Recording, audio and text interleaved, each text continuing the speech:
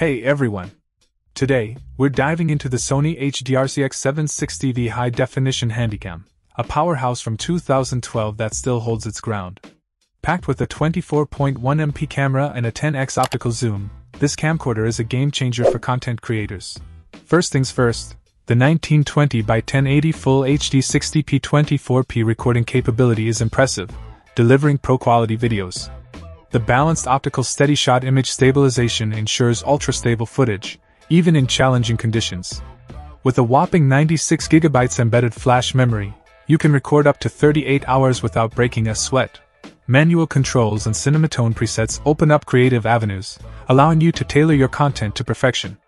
The 26mm Carl Zeiss Vario Sonnar T lens provides clarity, and the back illuminated Exmor CMOS sensor excels in low light situations.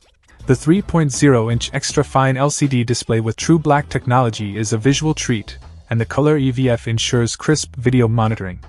Face detection with voice enhancement, noise reduction, and tracking focus add finesse to your shots. Audio is a standout feature with a 5.1 ch surround mic and auto wind noise reduction, offering vivid and dynamic surround sound.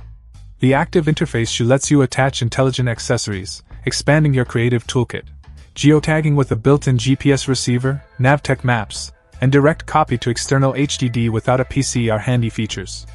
The built-in USB cable simplifies file transfer and charging on the go.